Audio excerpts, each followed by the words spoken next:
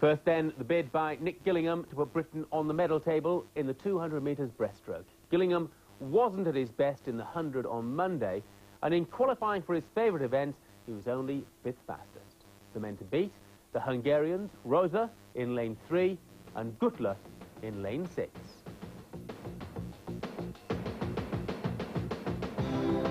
So it's a final, the men's 200 metres breaststroke, four lengths of the pool, Gillingham is going to really have to swim hard tonight if he's going to get a medal. He's capable of winning gold, there is no doubt about that. He's the fastest man in the world this year. The world record is 210.16. I think that might be out of reach. We're going to see quite a tactical race here tonight, I think.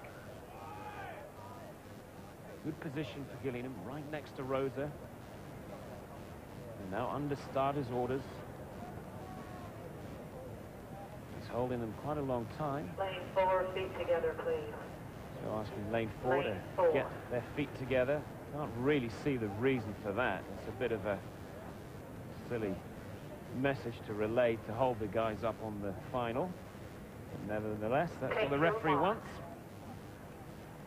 And a false start. Well, they must have been on edge because the referee asking lane four to keep your feet together. No reason for that.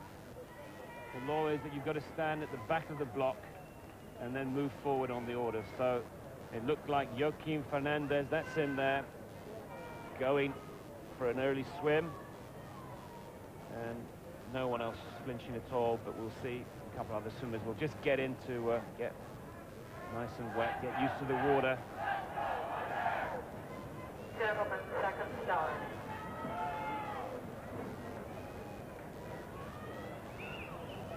So Fernandez with the false start. Anybody that goes in second time will actually be disqualified automatically. So back on the blocks they go. Final of the men's 200 meters breaststroke. Gillingham in two, Rozsa in three. That's where I think the race will develop, but probably the early leaders will be Andrei Ivanov in lane five. Again, the referee asking lane four to keep the feet together. Take your mark. And there they go. What a start by Akira Hayashi. He got off those blocks very quickly. First to show, though, was Rozsa in lane three. Lane one at the top of your picture, lane eight at the bottom. And Gillingham and Rozsa, well, they're going to battle, I think. But look at Rozsa go. Now, Gillingham's tactics on the 200 is to get into the stroke on the first 50, feel the stroke, let Rozsa do all the hard work, let the other guys do the hard work, and then on the second part of the race, start to pick it up. So it's Rozsa 30.43, right on world record pace. So Rozsa means business here. Also going well is Guttler in lane number six. That's Rozsa with the black cap. A nice long stroke, leans right into the stroke. Head's now allowed to go underwater on this. And also going very well, it's American down at the bottom of your picture, Eric Wunderlich. He's got nothing to lose. He's what they call an outside smoker. They won't be able to see him. So at the 100, let's check the times for you. 1487, well, they've dropped world record pace, so as I said earlier, I don't think we're going to see a world record here, but it looks like the two Americans are really having a bit of a battle on their own. Eric Wunderlich way out in lane 8, pushing the third 50. Now Nick is going to have to really start getting up on Rozsa because Rozsa, remember, won the gold in the 100 here. We know his sprint capabilities. Nick is about a meter behind.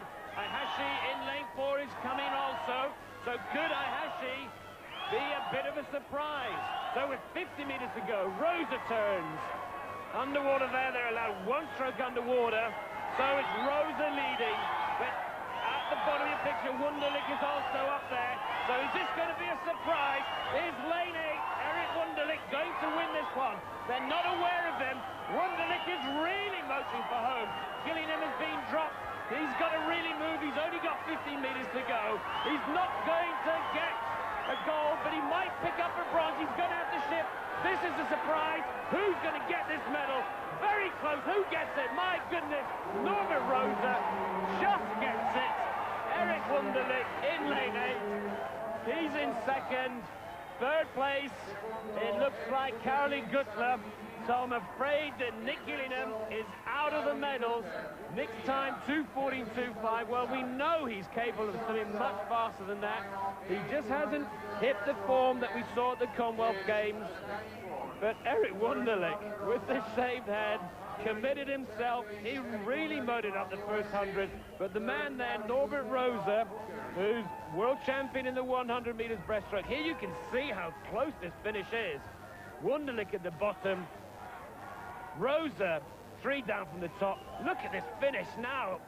You can't really separate that. Rozsa winning 2.12.81. Wunderlich six hundredths of a second behind, 2.12.87. And then Guttler, well, just snatching the bronze, 2.14.12 for Guttler. So the Hungarians doing it again. They won gold and silver in the 100. They've got gold and bronze in the 200. And sadly, Nick Gillingham doesn't pick up a medal tonight. Yes, the Hungarians, and Norbert Rozsa in particular, having an excellent time in Rome. His second gold medal, with Hungary taking both gold and bronze, and Wunderlich of the States taking silver.